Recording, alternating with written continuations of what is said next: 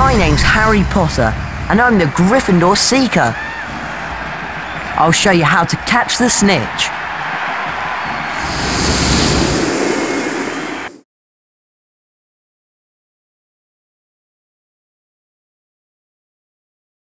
A golden snidget has escaped from a snidget reservation, and because I'm a seeker, I've been asked to catch it. This is a good opportunity to learn about slipstreaming and boosting when playing in a real match. And Madam Hooch is going to help us out. You'll see that Potter must follow in the slipstream of my broom as we pursue the golden snidget. This is so that he can accumulate enough power to boost himself into position and therefore catch the snidget. Once Potter has enough boost, I will peel off and leave grabbing the snidget to him.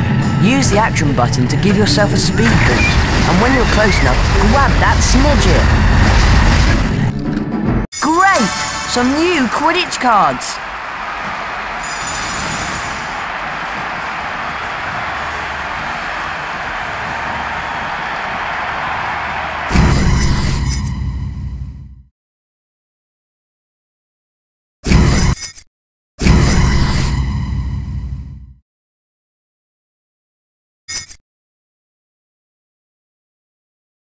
Brilliant effort!